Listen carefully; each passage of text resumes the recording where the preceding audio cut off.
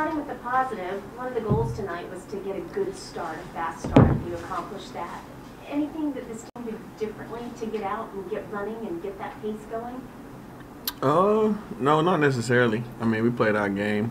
Uh, obviously, we started a different lineup. You know, trying to match their size and uh, just get out and run. Like that's pretty much been our best offense. You know, try to get in transition, get easy buckets. Uh, so, now we definitely did a good job of starting the game off. And then you led the entire second half up until the very end. What would you change? What would you take back in those final seconds? Uh, we just gotta get stops. You know, uh, gotta crunch time. You gotta lock in, and obviously they did a good job of, you know, executing down the stretch.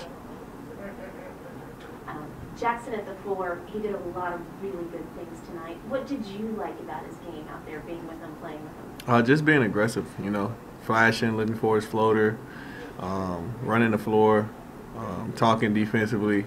Um, you know, we ask a lot out of him, um, and he brings it every night. So um, I told him after the game, you know, way to play because he, he played extremely well.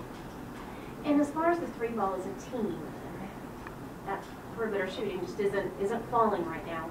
Is there something you can do to get that ball going in, or is it just a slump that you have to keep working your way out of? Just keep shooting. Uh, that's all we can do. Uh, it'll fall. We believe in it. We work on it. Uh, so we're definitely going to keep shooting. All right, we can move to Zoom, please. And Devonte', uh, Jaxson was just talking a little bit of how his, his role offensively was different tonight than, you know, when he's playing at the center. And he said, you know, of, of course, he's taking the occasional jump shot, but he's kind of cutting in from the weak side and being opportunistic. Just how do you see him, I guess, just fair in, a little bit of a different offensive role tonight?